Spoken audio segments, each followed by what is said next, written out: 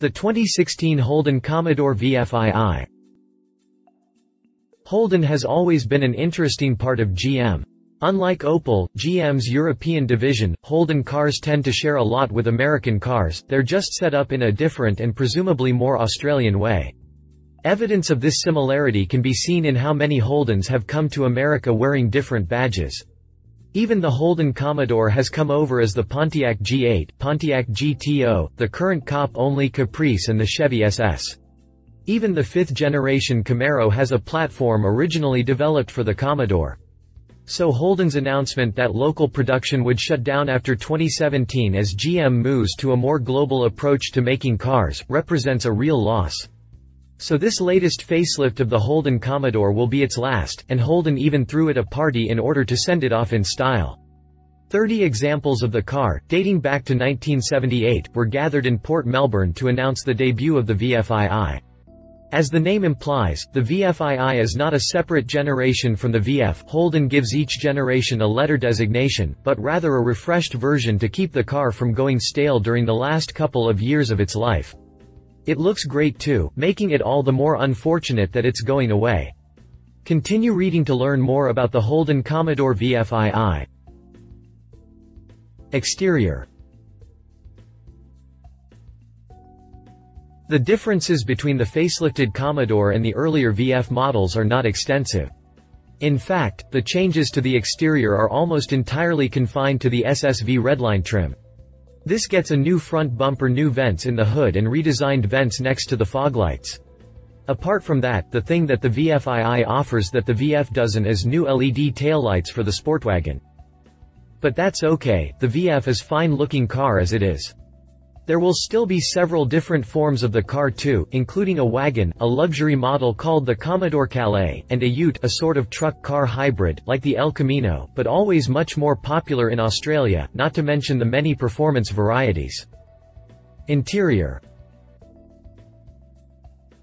Note, Chevrolet SS pictured The cabin of the VFII remains the same as that of the VF. This is at its best in the Commodore Calais, which offers heated and ventilated leather seats and leather upholstery at the other touchpoints. There is dual-zone climate control and a variety of other touches that are largely in line with a good Buick interior. Lower-end models get into the Chevrolet end of interiors, although they use the same large infotainment screen as the Calais. The Commodore is a full-sized sedan, so there is plenty of interior and trunk space as well. It is slightly shorter but also just a bit wider than an Impala, just for comparison's sake. Drivetrain The engine is the most significant thing to have changed for the VFII. There is a V6 version of this car available, but the changes have been made to the V8 equipped model. All of these now feature a 6.2-liter LS3 engine under the hood. This is the engine that powered the previous generation of the Corvette, and could also be found in the US version of the car and the souped-up versions made by HSV Holden Special Vehicles. Non-HSV V8 Commodores had previously been powered by an Australia-only 6.0-litre V8, but this has now been dropped in favour of the LS3. The engine produces 407 horsepower, up from 362 horsepower from the previous engine, with HSV versions remaining the same. Those HSV versions, though unchanged, are quite impressive nonetheless. The GTS, a hotted-up Commodore, puts out 576 horsepower. It can even be had in a Ute version, known as the Maloo. Holden has also said that it has gone to great lengths to make the engine sound just right, even saying it took years to work it out. Since one-third of Commodores purchased are equipped with a V8, this is good news for a lot of potential buyers. Drivetrain specifications Safety The Commodore tends to do well in crash tests, and currently has a 5-star rating from ANCAP. The NHTSA hasn't published any data on the SS, the American version of the car, but the Camaro shares its platform and also has a 5-star rating. The driver's aids are good but hardly groundbreaking. There is a reverse traffic alert, park assist and hill hold control, always a good thing for those that opt for a manual transmission. It's not much in the way of electronic gadgetry, but a car that performs so well in crash tests doesn't have as much to make up for. Prices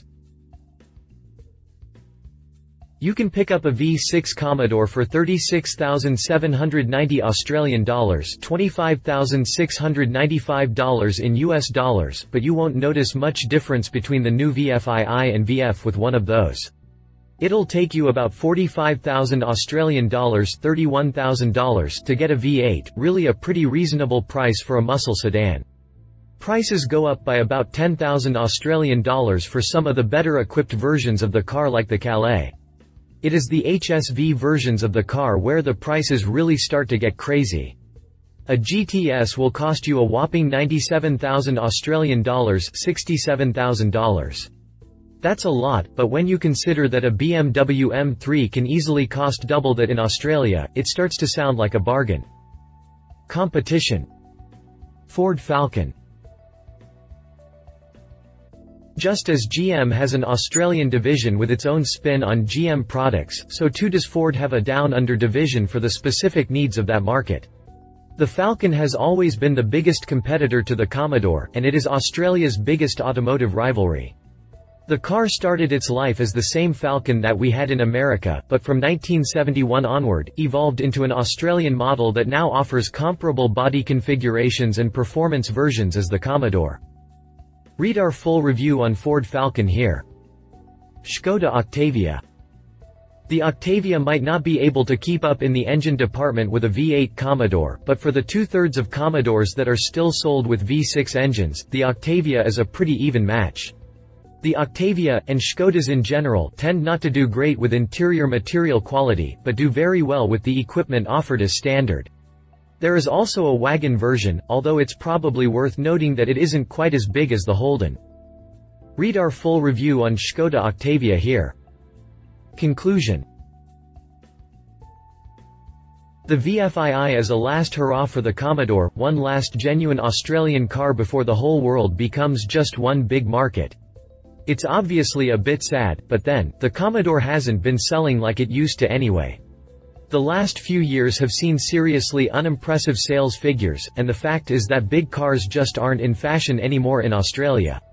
Holden is thinking that sales will go up with the debut of the VFII, and that people will scramble to have one of the last of the V-8s. The nameplate will live on, but the next generation of the Commodore will be built in Germany, and won't have nearly as interesting a lineup of engines. Love it all V8 models now have the better LS3 V8 SSV redline tweaks really do look good good value for money. Leave it HSV versions are far too expensive interior quality isn't spectacular, could at least offer higher quality materials as an option still no Maloo in America. If you liked this video, please share your thoughts in the comments below and don't forget to hit the subscribe button.